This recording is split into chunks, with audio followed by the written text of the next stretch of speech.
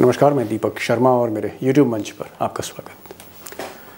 दोस्तों, क्या देश के दो राज्यों में, दो राज्यों में सरकार खतरे में? अब ये बड़ी बात है और इसीलिए सवाल है कि आखिरकार मोदी और शाह का, मोदी शाह का इरादा क्या है? चुनाव सर पर हैं। पंद्रह दिन के अंदर चुनाव ऐलान हो सकते हैं। और इस बीच गुजरात लॉबी का ऑपरेशन लोटस, ऑपरेशन कमल जारी है। अब आज राज्यसभा का ही चुनाव देख लीजिए।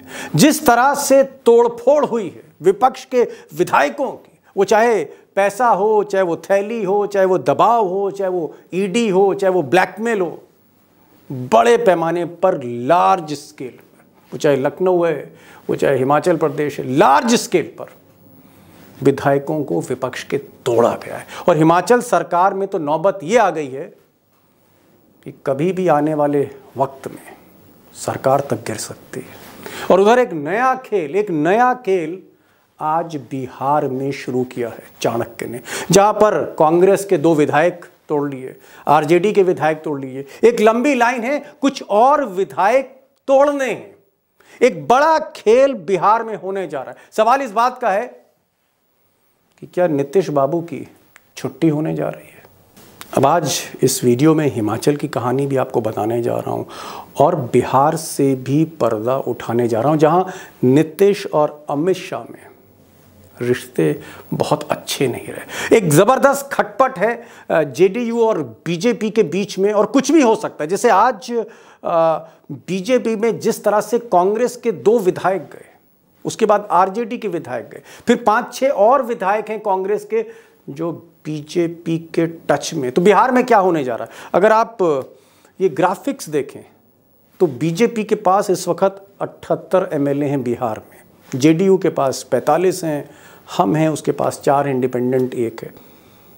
तो फिर बीजेपी जो अच्छी तरह से सरकार चला रही है, उसे कांग्रेस की ज़रूरत किया? अब लोग कहते हैं कि कांग्रेस के जो 19 विधायक हैं, इसमें स्प्लिट कराना चाहती हो। सकता है 12-13 विधायक टूट कर। बीजेपी में शामिल हो जाए।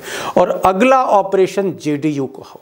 तो क्या जेडीयू को तोड़कर, कांग्रेस को तोड़कर बीजेपी अपने दम पर सरकार बनाना चाहती है पटना में?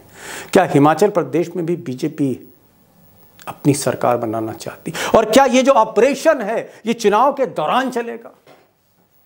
बड़ा सवाल है दोस्तों। और मैं कोशिश करूँगा कि जो भी तथ्य हैं, जो भी फैक्ट हैं एक्सपर्ट्स की मदद से सही तस्वीर आपके सामने रखो। मैं सिर्फ़ इतना कहूँगा कि जो तस्वीर उभर रही है पटना से लेकर शिमला तक, वो तस्वीर विपक्ष के लिए भी एक चुनौती है। वो तस्वीर आपके लिए भी चुनौती हो सकती है। अगर आप अपने वोट की कीमत जानते हैं अब दोस्तों, राज्यसभा चुनाव में आज कौन जीता, कौन हारा, कौन राज्यसभा का नया मेंबर बना, सदस्य बना? कर्नाटक में क्या हुआ, या उत्तर प्रदेश में क्या हुआ, या फिर हिमाचल में क्या हुआ? ये इंपॉर्टेंट नहीं है। इंपॉर्टेंट ये है कि क्या जिस तरह से लखनऊ में समाजवादी पार्टी के आधा दर्जन से ज़्यादा विधायक एक रात में तोड़ दिए गए क्या वहाँ पर ऑपरेशन लोटस जारी है? क्या आने वाले समय में अखिलेश यादव को एक बड़ा शॉक गुजरात लॉबी देने जा रही है? और क्या हिमाचल में सरकार बदल सकती? सरकार पर, कांग्रेस की सरकार पर संकट के बादल हैं, चाणक्य की नज़र शिमला में। और क्या पाटलिपुत्र में भी खेल हो सकता है? नीतीश कुमार का द एंड भी हो सकता है पॉलिटिकल। क्या इस तरह का खेल चल रहा है, ऑपरेशन चल रहा है, प्लानिंग चल रही है? आज दो खास मेहमान हैं। हमारे साथ अशोक वानखड़े टाइगर होंगे और हमारे साथ अभिषेक कुमार होंगे। जी हाँ बिहार के ऐसे पत्रकार जिनके पास चाहे बीजेपी हो, चाहे आरजेडी हो, चाहे जेडी हो, चाहे लेफ़्ट हो, चाहे कांग्रेस, सबकी खबर है। तो क्या होने जा रहा है आने वाले पंद्रह दिनों में? बिहार में क्या होने जा रहा है? क्या हिमाचल में सरकार गिरने जा रही है? और लखनऊ में ये कौन सा अध्याय खोला है चाणक्य ने? मुझे लगता है ज़्यादा समय नहीं लूँगा। चलता हूँ सीधे अशोक वानखेड़े और अभिषेक कुमार के पास। एक वो तस्वीर दिखाने जिस देश में आने वाले पंद्रह दिनों में राजनीति में हड़कम मचाने जा रही है। जो सवाल है, टाइगर और सवाल मेरा ये है कि अब आचार संहिता लगने में इलेक्शन अनाउंस होने में चंद दिन बचे हैं। आप वो दिन उंगलियों पे गिन सकते हैं। और इतने कम समय में इतने कम समय में अमित शाह ये जो ऑपरेशन कर रहे हैं कि ये विधायक लखनऊ से तोड़ो ये विधायक शिमला में तोड़ो इधर जो है पटना में विधायक तोड़ो वहाँ पर जो है उनकी नज़र जो है बाकी राज्यों में भी है। ये जो तोड़ फोड़ का गेम है मैं ये नहीं समझ पा रहा हूँ। ये तोड़ फोड़ किस लिए है? क्या मोदी जी एक बहुत ही कमज़ोर विकेट पे इस बार खड़े हैं? दीपक भाई 2014 से लेके 2024 तक विभिन्न राज्यों में यदि उधार के सिंदूर पे बीजेपी जी रही है तो वो उधार के सिंदूर के आदि हो गए। तो वो आखिरी दम तक लगातार जब जब चाहे जहाँ जहाँ चांस मिले उनके यहाँ एक machinery twenty four by seven काम ही करती रहती है। हम्म। किसको तोड़ा जाए कहाँ से तोड़ा जाए कमज़ोर नस कौन सी है कौन का केस अटका हुआ है कौन ईडी के रडार पे आता है इनकम टैक्स में किसका प्रॉब्लम चल रहा है? किसका ससुर संगी है, संघ से जुड़ा हुआ है, उसके वहाँ से ऑपरेशन करो। ऐसे कई ऑपरेशन हो रहे हैं। और ये ऑपरेशन उनके मल्टी लेवल पे है। यदि इंडिया गट एनडीए गठबंधन इंडिया गठबंधन में छेद करता है यूपी में तो फिर अपने दो विधायक एनडीए के यू ही सपा में नहीं जाने देते। उन्हें यदि किसी को अपने पास नहीं रखना है तो धीरे से दरवाज़ा भी खोल देते हैं। टाइगर मैं ये समझता ये जो ये जो डेस्परेशन है ये जो एक तरह से बौखलाहट है कि जिस वक्त जिस वक्त पार्टियाँ कंसंट्रेट करती हैं 2024 पे अमित शाह मोदी की नज़र विधायक तोड़ो ये नेता तोड़ो वो एमपी तोड़ो यहाँ सरकार गिरा दो। इस पे ही नज़र है। ये राज्यसभा का खेल नहीं है ये 2024 का इंडिकेटर है। नहीं चलिए एक मिनट चाहते टाइगर टाइगर चलिए हाँ। एक एक सवाल। मान लीजिए मान लीजिए जैसे हिमाचल प्रदेश में सरकार गिरा दी अमित शाह ने। मान लीजिए आने वाले। आठ दस दिन में सरकार गिरा दे।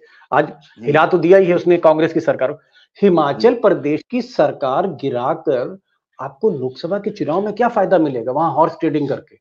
परसेप्शन। राहुल गांधी जो बोल रहे हैं कि देश में अन्याय हो रहा है प्रजातंत्र नहीं है लोकतंत्र नहीं है। भारत जोड़ो यात्रा अरे आपकी पार्टी जोड़ो पहले। पार्टी क्या नाक के नीचे से सरकार जा रही है। देखिए ये कांग्रेस के लिए भी सीख है। दीपक भाई आपको हर राज्य में एक डीके शिव कुमार चाहिए। आपके पास हिमाचल में कौन है? सीधा प्रियंका जी का इंटरवेन था राजू शुक्ला जिनका ज़्यादा समय क्रिकेट के लिए जाता है और पार्टी के लिए कितना समय दे पाते हैं? ये तो होना ही था। सुख क्यों नहीं पार्टी को संभाल पाए? क्यों ट्वीट करते हैं? आप ट्वीट करके एक एक एक पोजीशन लेते हैं कि भाई जिस सिंबल पे जीते, उसके साथ आपको गद्दारी नहीं करनी चाहिए। हो रही है उसका क्या? राजीव शुक्ला सो गए थे क्या? कि आईपीएल में बिज़ी थे। आपको 24 फोर बाय सेवन काम करने वाले लोग चाहिए पार्टी में। पार्ट टाइमर नहीं चाहिए। चलिए मैं, मैं मैं हिमाचल से जरा बिहार की तरफ़ आ रहा हूँ क्योंकि बिहार में राजनीति एकदम से पलट कर पलट रही है। पहले तो अभिषेक ये बताइए कि क्या नीतीश कुमार और मोदी जी में रिश्ते थोड़े से गड़बड़ हैं? क्या नीतीश कुमार अमित शाह और मोदी से नाराज़ चल रहे हैं? क्या नीतीश कुमार बीजेपी को छोड़ सकते पहले तो ये बताइए। भारतीय जनता पार्टी पीछे हट रही है। वो विधानसभा भंग नहीं करना चाहती। और एक साथ दो खेल चल रहा है। सबसे कमज़ोर विकेट पर कांग्रेस है बिहार में। कांग्रेस के विधायक दल को तोड़ना सबसे आसान है। अठहत्तर विधायक बीजेपी के हैं। दो तिहाई का आंकड़ा तेरह पर होता है और तेरह विधायक कभी भी टूट सकते हैं। दो तो आज टूट गए। और जो दो टूटे उनमें से एक के घर पर कुछ विधायक कांग्रेस के जमा भी हुए थे और कुछ कहा जा रहा है कि रास्ते तो में आप, कभी भी पहुँच सकते हैं। आप, आपको क्या लग रहा है कि अभी जैसे आज दो विधायक अमित शाह के इशारे पर तोड़ दिए गए कांग्रेस के। कांग्रेस के 19 विधायक हैं। आप कह रहे हैं तेरह विधायक टूटे तो एंटी डिफेक्शन लॉ से भी बच सकते। क्या आपको लगता है कि कांग्रेस पटना में टूटने जा रही है चुनाव से पहले? आपको ऐसा लग रहा है? किस तरह की खबरें आ रही हैं अब इसमें कोई डाउट नहीं है। कांग्रेस पार्टी की टूट हो चुकी है ऐसा कर सकते हैं आप। भारतीय जनता पार्टी अपने विधायकों की संख्या को नब्बे या इक्यानवे पर ले जा चुकी है कांग्रेस के समर्थन से। कभी भी इसकी औपचारिक ऐलान कभी भी इसका औपचारिक ऐलान हो सकता है। अब सवाल ये उठता है कि 122 के जहाँ बहुमत का आंकड़ा हो 243 की असेंबली में जहाँ 122 पर 122 में बीजेपी नब्बे या इक्यानवे पे पहुँच जाए चार विधायक उसके साथ जीतन राम मांझी के हैं उसके बाद अगला निशाना क्या होगा? तो अगला निशाना जनता दल यूनाइटेड होगी ये कयास अब पटना में लगने शुरू हो चुके हैं क्योंकि भारतीय जनता पार्टी को पटना में अपना मुख्यमंत्री चाहिए और इसी अपना मुख्यमंत्री की संभावना को खत्म करने के लिए नीतीश कुमार विधानसभा को ही खत्म करना चाहते हैं कि जब विधानसभा ही खत्म हो जाएगा तो इस सारी तोड़ फोड़ का कोई मतलब नहीं है। एक चीज़ मैं यहाँ क्लेरिफाई कर दूँ मैं चाहूँगा कि वानखेड़े साहब भी इस चीज़ को सुने। एक्चुअली uh, इस वक्त बीजेपी की जो स्ट्रेंथ है वो अठहत्तर है जो आप स्क्रीन पर देख रहे हैं सेवेंटी एट एमएलए उनके पास हैं। कांग्रेस को तोड़कर वो 91 तक पहुँचना चाहते हैं। फिर जेडीयू जिसके 45 विधायक हैं, इन 45 में वो फिर स्प्लिट कराना चाहते यानी आने वाले समय में कांग्रेस को तोड़ेंगे और नीतीश कुमार की पार्टी को तोड़ेगी बीजेपी और बीजेपी अपने बूते पे सरकार बनाना चाहती। यानी नीतीश का जो अध्याय है, अब बीजेपी को लगता है क्या कि नीतीश को ही तोड़ो, नीतीश को खत्म करो। जो एक एक एक किंग मेकर की भूमिका में थे, कभी इधर, कभी उधर। उस गोल्डन फिगर को उस अरिथमेटिक को ही बीजेपी खत्म करना चाहती है। टाइगर क्या झगड़ा इस कदर बढ़ चुका है? नीतीश वर्सेस अमित शाह कि अब अमित शाह चाहते हैं कि now the last warning for Nitish Kumar अब खत्म करो। नीतीश को ही खत्म कर दो। झगड़ा नहीं है ये। ये प्लान है। प्लान है। भाजपा भाजपा हर राज्य में टू पार्टी सिस्टम चाहता है।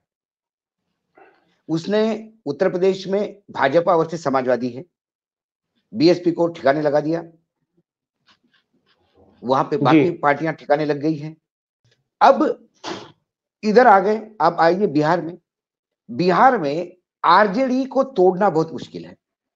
आरजेडी को समाप्त करना बहुत मुश्किल है क्योंकि आरजेडी किसी भी लेवल पे कॉम्प्रोमाइज करने को तैयार कांग्रेस तो वहाँ है ही नहीं। ऐसे में यदि जनता दल यूनाइटेड खत्म हो जाती है तो अगला चुनाव किसके बीच में होगा? आरजेडी और बीजेपी के बीच में। कहीं तो एंटी इनकम्बेंसी आएगी कहीं तो लोग थक जाएँगे आरजेडी से तब बीजेपी अपने बलबूते पे सत्ता पे आएगी आपको लगता है कि आपको लगता है कि नीतीश अपनी जिद में या नीतीश अपने नशे में सत्ता के कहीं ना कहीं वो ट्रैप हो गए? अमित शाह ने ट्रैप कर लिया उनको। बुरी तरह से बुरी तरह से ट्रैप हो गए। देखिए भारतीय जनता पार्टी सिर्फ़ रणनीति नहीं करती सिर्फ़ विधायक नहीं तोड़ती सिर्फ़ एजेंसी का यूज़ नहीं करती। भारतीय जनता पार्टी एक और रूट अपनाती है जो अपने कुछ लोग अलग अलग राजनीतिक दलों में या अलग अलग राजनीतिक दलों के लोग अपने यहाँ पेरोल पे रखती है जिसको हम स्लीपर सेल कह सकते हैं। ये बीजेपी के स्लीपर सेल कांग्रेस में भयावह है यही sleeper cell Janata Dal United में भी है यही स्लीपर सेल शिवसेना में भी थे।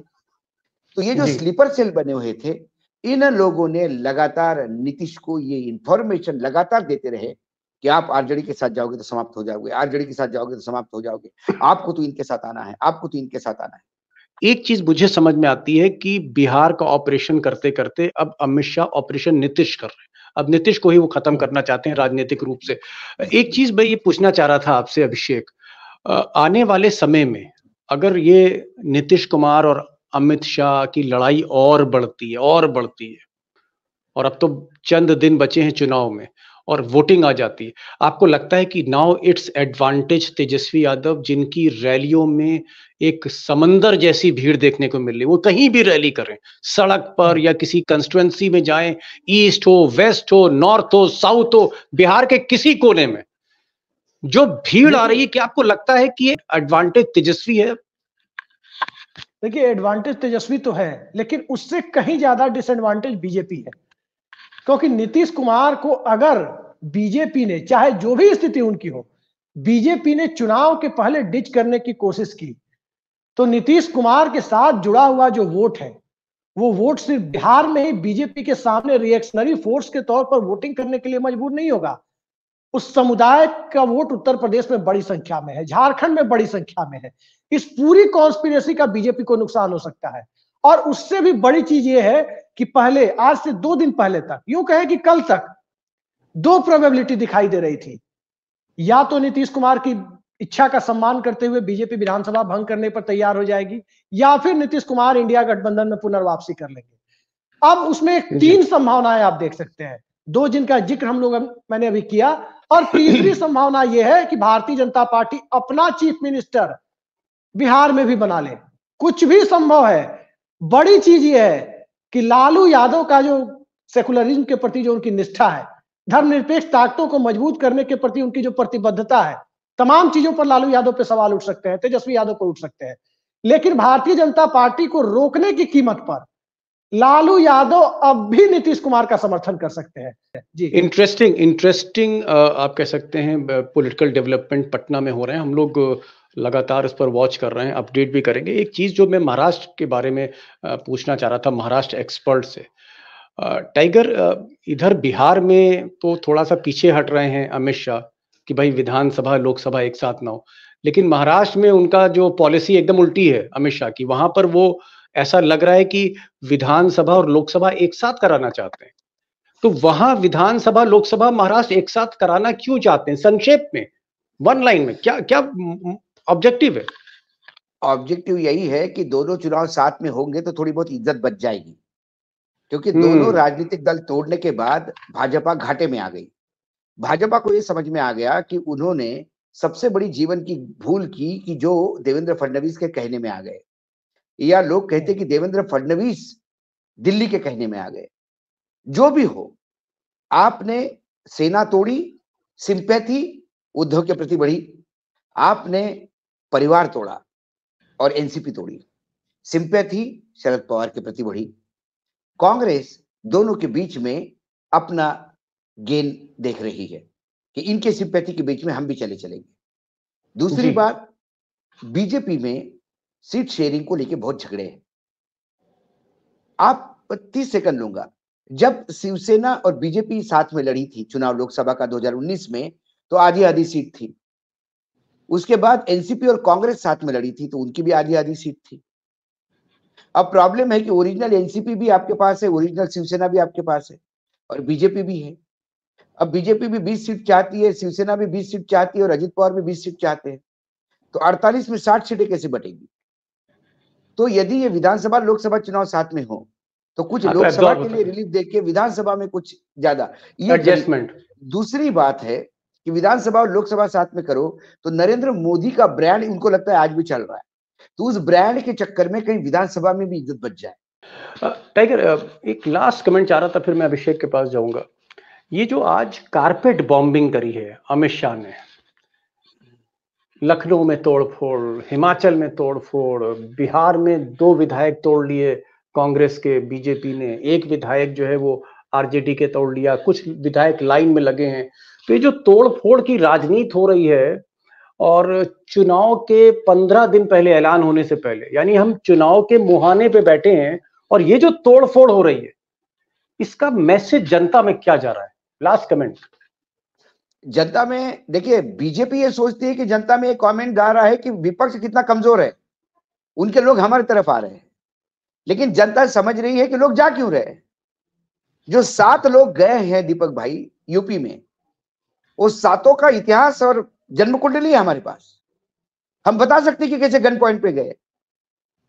कैसे, हाँ, कैसे कोई माफ़ी कोई माफिया है किसी पर हत्या कोई माफिया है किसी की धन से अधिक संपत्ति है किसी के बेटे के ऊपर किसी की संपत्ति हड़पाने का केस है।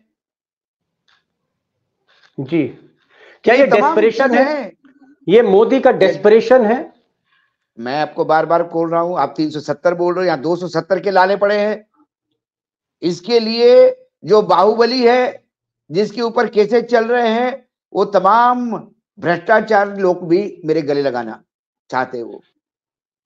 जी। और शायद नरेंद्र मोदी जी को जब विष्णु का रूप बोला ही है तो चाहे फिर आप वो कुरुक्षेत्र का श्री कृष्ण का विचार रूप धारण कीजिए कि जिनके मुखमंडल में सारे ग्रह मंडल घूम रहा है वैसे सारे भ्रष्टाचारी व्याभिचारी सब बीजेपी में घूमते नज़र आएँगे आपको अभी। जी। ये डिस्परेशन है ये डर है ये कमज़ोरी है कि आपको ऐसे लोग भी साथ में चाहिए। जी। अभिषेक, कहीं पर ईडी का इस्तेमाल हो रहा है? कहीं पर किसी मुख्यमंत्री को जेल भेजा जा रहा है झारखंड में? दिल्ली में मुख्यमंत्री जेल जाने की लाइन में खड़े हुए हैं। फिर कहीं पैसा दिया जा रहा है, हॉर्स ट्रेडिंग हो रही है, विधायक तोड़े जा रहे हैं, क्रॉस वोटिंग हो रही है। ये जो बीजेपी की जो रणनीति खुलकर सामने आ रही है, आपको क्या लगता है कि ये कहीं ना कहीं ये दिखा रही है कि मोदी एक एक सीट के लिए स्ट्रगल कर रहे हैं इस बार? साम दंड भेज सब कुछ इस्तेमाल करके वो विपक्ष को ही बिखेर कर जीत का रास्ता बना रहे हैं, ऐसा लग रहा है आपको?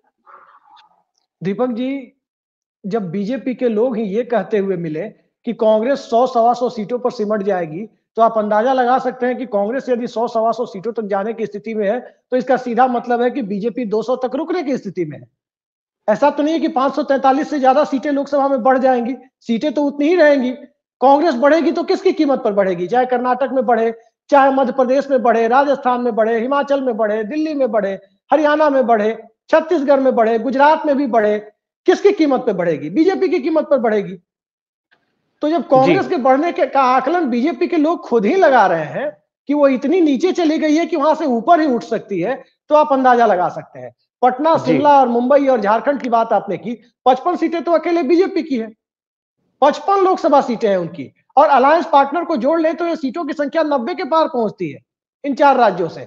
तो ये पचपन सीटें बचाना इनकी प्रायोरिटी है कि पचपन कैसे आए। हालात ये है कि यदि जनता का सेंटिमेंट जो दिख रहा है वाकई यदि लालू यादव और नीतीश कुमार साथ हो लिए और महाराष्ट्र का जो सेंटिमेंट है हिमाचल में जिस प्रकार के हालात है और झारखंड में जिस तरह से ट्राइबल चेतना हावी होती जा रही है घर करती जा रही है पचपन में पंद्रह के हालात हो सकते हैं। जी। तो बीजेपी को डर लग रहा है कहीं ना कहीं तभी ईडी आ रही है तभी ऑपरेशन लोटस हो रहा है। तभी क्रॉस वोटिंग हो रही है और तभी महाराष्ट्र जैसे राज्य में वोट ऑन अकाउंट आ रहा है। वोट ऑन अकाउंट बड़ी बात कही आप दोनों ने, एक बॉटम लाइन जो खिंच के आती वो ये आती है कि अगर कांग्रेस बावन सीटों से सौ सीट इस बार पार करती है, अड़तालीस, पचास सीटें ज़्यादा लेके आती, कांग्रेस अगर सौ पे पहुँच रही है तो अभिषेक कह रहे हैं तो फिर बीजेपी 200 250 पे रुक रही है। और यही छटपटाहट है जिसकी वजह से टाइगर ने कहा कि साम दंड भेद लोभ मोह क्रोध सब कुछ जायज़ है। एवरीथिंग इज़ आप कह सकते हैं जायज़ युद्ध और प्यार में जैसे होता है। तो जो हम देख रहे हैं आज fair in love and war love is love is a lust for power and war is on the opposition opposition opposition yes अच्छी तरह से आपने कहा। तो बहरहाल ये आज तो ट्रेलर था। आगे कितनी और ये तोड़फोड़ होगी इसका स्केल क्या होगा मुझे लगता है राजनीति फिर एक बड़ी करवट लेने जा रही है, इलेक्शन से ठीक पहले। आप दोनों लोग आए, खुलकर बात करी, विभाग बातचीत हुई, जो इनपुट्स महाराष्ट्र के मिले, बिहार के लिए। मुझे मुझे लगता है कि एक बहुत ही दिलचस्प तस्वीर उभरेगी आने वाले कुछ दिनों में। थैंक यू सो मच आप लोग आए, खुलकर बातचीत हुई। दोस्तों की तरफ़ से बहुत बहुत शुक्रिया।